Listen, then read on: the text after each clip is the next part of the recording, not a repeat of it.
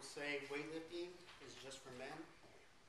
Weightlifting bulks you up, and some people are afraid to try it.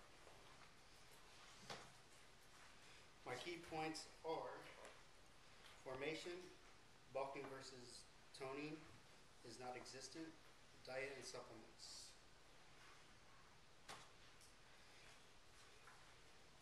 Vince Lombardi once said, perfect practice makes perfect.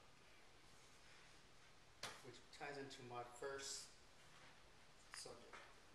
Formation and posture is very important while weightlifting.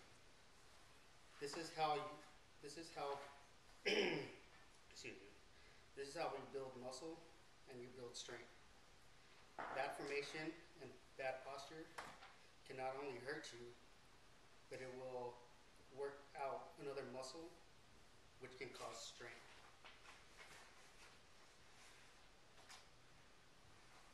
Light versus heavy, which ties into toning and bulkiness. They say weight matters on how you define your body. Utilizing the weights the right way only burns the fat. That describes toning and bulkiness. Bulkiness, you have less fat, and toning, just have enough fat to show muscle definition.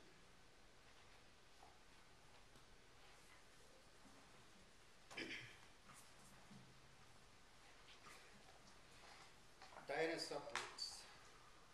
These determine and help out when you weight lift. Eating right, eating healthy foods, it gives you the energy to work out. Supplements, they do the same thing if you use it right. Supplement, it means help. When you eat, it helps it better. And these are also reinforcements when you weightlift. Some of the some of the diet supplements, um, protein is a good source for muscle building, and it doesn't cause bulkiness because the protein is a is a source to build muscle. Also, another supplement is fat burners. It's pretty much self-explanatory. Creatine does help, but it's only for water.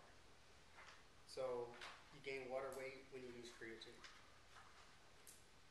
Also, pre-workouts, before you work out, it gives you caffeine, which gives you energy before you work out.